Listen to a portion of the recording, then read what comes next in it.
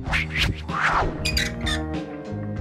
all of my life, people, like one of the first things I've gotten so many times is, I don't understand you. I would say that growing up as a tomboy was definitely hard. I got made fun of by boys and girls at school. You know, none of the boys liked me or thought I was cute and girls didn't, I didn't fit in with girls. I started modeling like skirts and stuff, so I hated that. I stopped from modeling completely from when I was like 16 to I want to say 19. Kind of took a toll on me and my self-confidence, mainly because I wasn't doing stuff that I feel like I was meant to be doing. They have to put a label on it, and I just don't, I don't get it. You don't have to be a man to have short hair and wear men's clothing. After high school, when I was living in San Francisco, I met a couple cool friends when I was in theater class, so they were really awesome. It was through these friends that I started to have confidence in myself and liking myself and loving myself. This photographer in LA uh, by the name of Toshka Turnquist reached out to me and she said, your look is so androgynous, that's what you need to capitalize on. So she started photographing me a bit more in an androgynous fashion. For example, she was like, you know, don't wear as much makeup,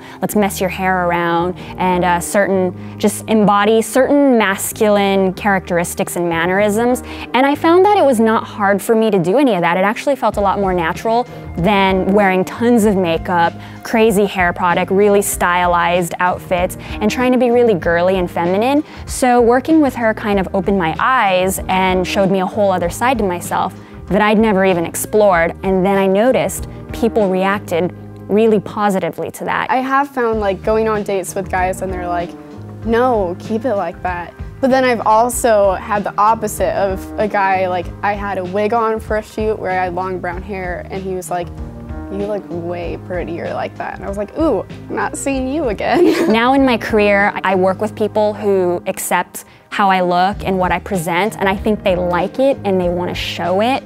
And I think it's great to be around supportive people that aren't trying to put me in another box. Instead of feeling self-conscious about the things that I used to, like not having a typical women's body, now I'm like capitalizing on the things that I used to be self-conscious about. So I did like a, a, shoot like last week and we were shooting in uh, a 7-Eleven, like the, the parking area, and this lady was like, she got inspired by us. She was like, I want my daughter to be just like you. So it was really cool. Now I can embrace who I am and I don't have to change anything and alter anything about myself and that feels good. I love that I am androgynous in my look, in my dress, maybe even in my behavior, because I don't feel that I have to be limited to just one thing all the time.